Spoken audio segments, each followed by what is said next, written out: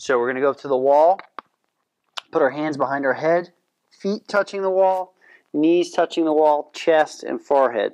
And then we're simply going to maintain all those points of contact and then slide down the wall like we're going to sit. And once our chest breaks contact, we stand back up.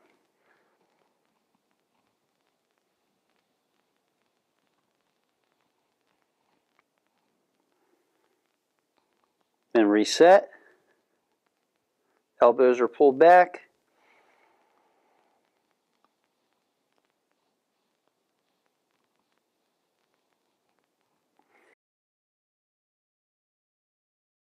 The next thing we're going to do is we're going to take our forearms and go at a 90 degree angle.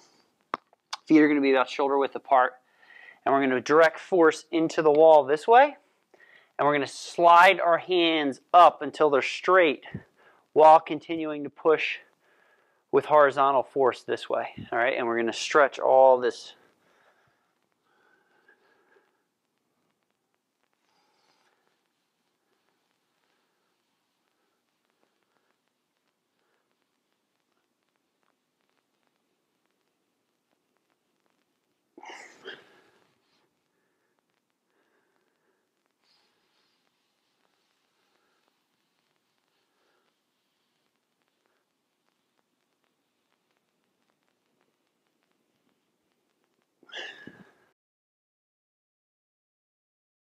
So now for the, uh, the next part of the warm-up, we're going to work on getting some thoracic rotation.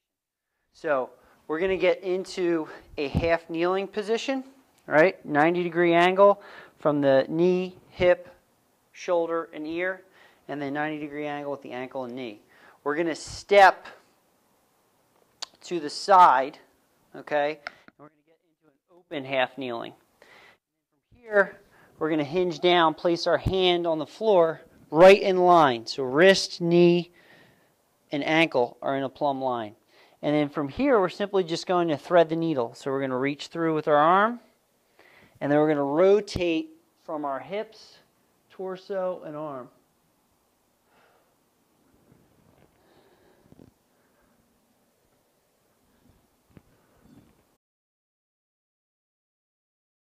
We're going to get onto our hands and knees. We want the wrists right under the shoulders, okay?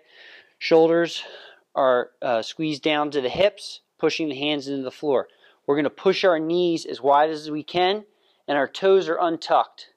We're going to drop down to our forearms, looking forward with our eyes, and we're going to rock rhythmically back and forth, all right? And this might be pretty uh, intense stretch for most people. So it takes a while to get into this range of motion. All right. So just stick with it. Keep working on it. Okay. Kind of move all around. Hit those different corners. Any tight spots. Okay. Making sure you're not holding your breath. So we're going to rock back and forth for one to two minutes. Okay. And then from here, we're going to extend one leg all the way, making sure that our back and our hips stay level, not letting them drop, and we're going to roll that foot back and forth internally and externally, rotating that hip, opening that hip up. Okay? And bring that knee back. Do the opposite side.